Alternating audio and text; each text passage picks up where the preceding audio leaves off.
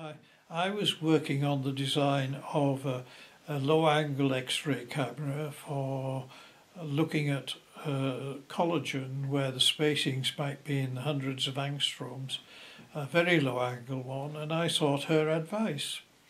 And I sought her in a laboratory and I found her very attractive, uh, uh, dark hair, dark eyes, but she was, it was like interviewing the headmistress. Uh, she sat there and uh, aloof, a little bit arrogant.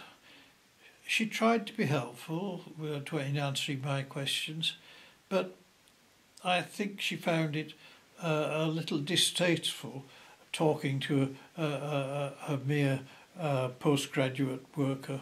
Uh, and uh, so, but anyway, I got advice from her on the design of the camera.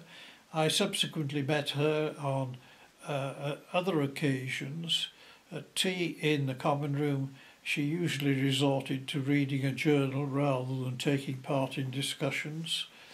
I tried to talk to her about hockey, which she enjoyed in her youth, and I still practice regularly, but I, I, I failed to establish contact with her. I, and I, I gather that she was primarily a lawn worker and did not wish to contribute in a team uh, to a team at all. Uh, in uh, the many colloquia that we had in, in the college concerning our work, I have no recollection in her being particularly active in joining in any of the discussion. In fact, I can hardly remember joining in at all. Although on one occasion she she did, she she she gave the main discussion. She she she gave the main talk, and uh, she did answer questions